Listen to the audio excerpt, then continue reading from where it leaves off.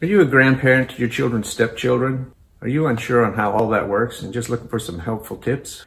Well, this video might just shed some light on that. Now let's talk about that right now.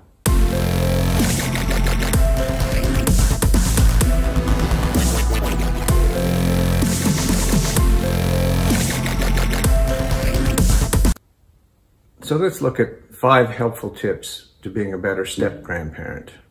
Number one is you need to assess your position. Are there blood grandparents involved? And what's their level of involvement? Are they local? Are they interstate? Do they see their grandchildren often? Is there much interaction with them? Or perhaps there's no grandparents on the scenes for a whole array of reasons. And consult with the parents. What level of interaction do they want? And what role do they want you to play? And when it comes to the child, let them guide your involvement. You can't push yourself on the step grandchildren. There may be a whole realm of reasons uh, why they may be shy, they may be hesitant to get involved with you, or perhaps they'll be clinging you because they have no grandparents and they really want one. The main thing is to leave yourself open and let the child know that you're there and you're available to talk. Acknowledge them and welcome them into the family. Where it leads from that is between the two of you. Number two is to identify what you can offer before you make any commitment. What's your availability? What level of involvement do you want to have with this child? Have a good think about that before you start interacting with a child. Get it clear in your mind what you see your role as and be clear to the parents and the child and the grandparents, everyone else involved of what that will be, what, what you're willing to commit to, what you would like to see the relationship develop to, and what you would like to see your role is. Number three is have a good think before you start. What do you want out of this relationship? Are you wanting something that's a mutual benefit for both the child and for yourself?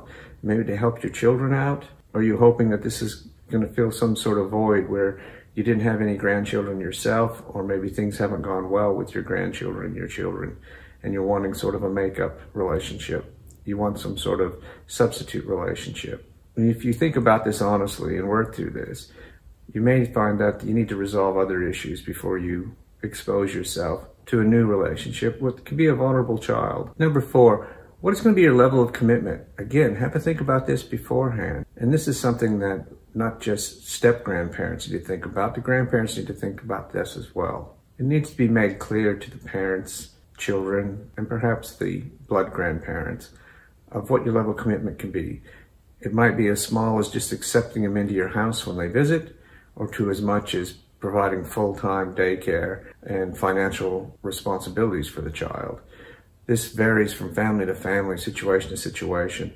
I'm not saying there's a right or a wrong solution, but you need to think about this to figure out what is the right solution for your family. And if you make this clear up front, this will lead to a better, stronger relationship, and it should avoid any disappointment or miscommunication later on. And this sort of clarity should really strengthen your relationship with your child and their new partner, as well as enriching your life and truly enhancing the life of the child. Number five, in my view, this is the most important step. Treat all your grandchildren the same, whether they're a blood relative or a step grandchild.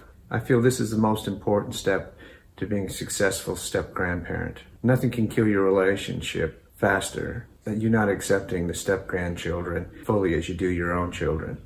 Now, your child has made a commitment to their new partner and made a commitment to their children. And in some cases, they even adopt their partner's children.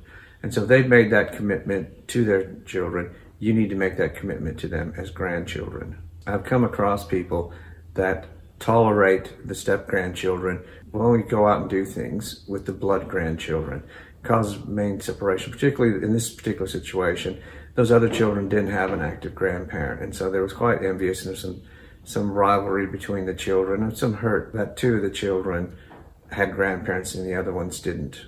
And as a family unit, it started to cause some rifts, uh, not only between the children, but between the, between the parent and the grandparent.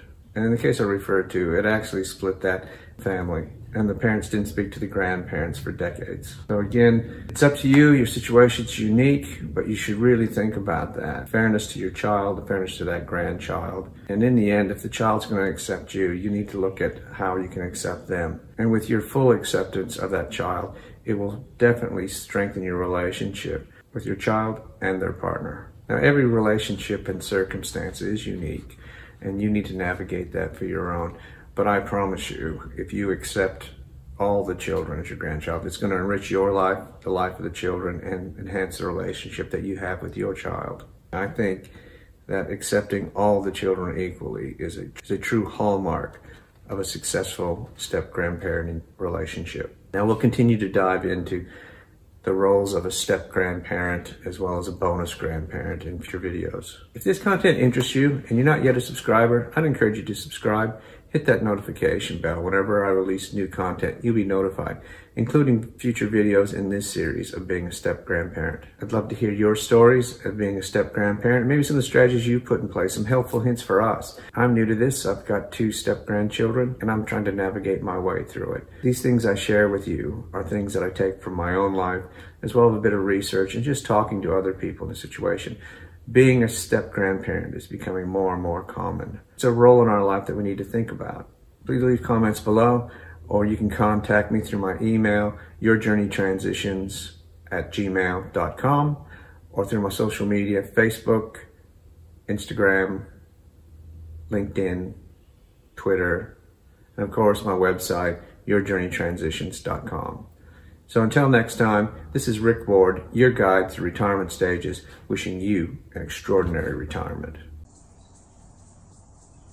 This is like a cocoon. What comes out of a cocoon? Butterflies. Are butterflies beautiful? Yes.